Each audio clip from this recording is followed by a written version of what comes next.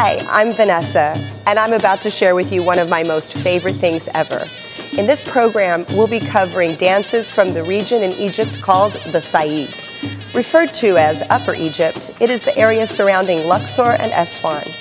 Here, the men perform the Tahtib, a martial arts dance focused on the manipulation of the assaya, which is the stick they use in Tahtib. In weddings, parties, or any other social gathering, you would see the men dancing with a stick and incorporating some of their signature Tahtib moves. As the women traditionally are not allowed to dance in public, the only females who are dancing at weddings and parties are hired to do so.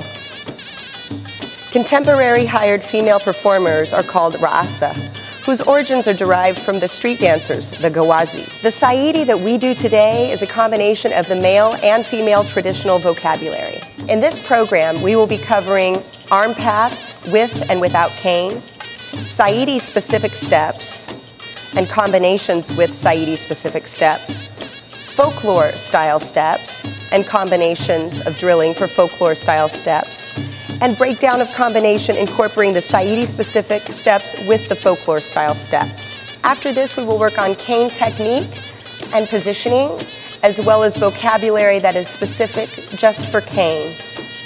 The magic of the mizmar, the heavy rhythm, and the energy of the Saidi is so beloved by the Egyptian public, making it by far one of the most popular Egyptian folklore dances. Are you ready? Yalla, let's go.